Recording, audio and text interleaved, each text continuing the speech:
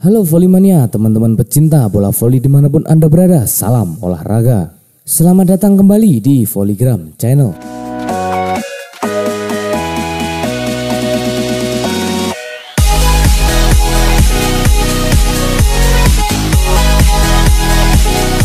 Gelaran Proliga 2023 akan segera bergulir, tepatnya pada tanggal 5 Januari 2023 ada 13 tim peserta, 7 tim putra dan 6 tim putri.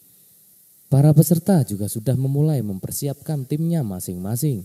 Ada yang sudah melakukan TC dan ada beberapa tim yang masih membangun kekuatan untuk hasil yang maksimal di gelaran Proliga 2023 nanti. Salah satunya yaitu tim Surabaya Bin Samator. Surabaya Bin Samator mendapatkan sponsor baru dari Badan Intelijen Negara dan merubah namanya dari sebelumnya Surabaya Bayangkara Samator menjadi Surabaya Bin Samator pada gelaran Proliga 2023. Samator kehilangan para pemain pentingnya seperti Nizar Zulfikar, Randy Tamamilang, Yuda Mardiansyah yang merapat ke Bayangkara Voli. Pada bursa transfer pemain Proliga 2023, Surabaya Bin Samator melakukan beberapa seleksi kepada pemain Stin Pasundan. Dikarenakan Badan Intelijen Negara mempunyai hubungan erat dengan Stin, yaitu Sekolah Tinggi Intelijen Negara.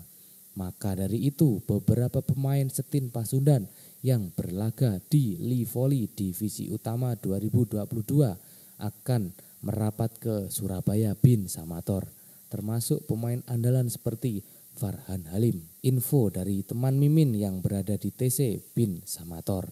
Akan tetapi untuk mendapatkan tanda tangan Farhan Halim, Surabaya Bin Samator harus membayar kontrak sang pemain dengan tim lamanya yaitu Jakarta Pertamina Pertamax. Dengan adanya sponsor baru Samator yaitu BIN Badan Intelijen Negara dan institusi BIN mempunyai hubungan erat dengan SETIN, Sekolah Tinggi Intelijen Negara, maka dipastikan dengan alasan apa pun Farhan Halim akan bergabung bersama Rifan Nurmulki dan kawan-kawan di tim Surabaya BIN Samator pada gelaran Proliga 2023. Keuntungan lain Farhan Halim dan kawan-kawan jika membela BIN Samator yaitu karir di luar voli juga akan terjamin di Badan Intelijen Negara. Tentunya karir voli maupun di luar voli Farhan Halim dan kawan-kawan akan mentereng dan masa depan cerah.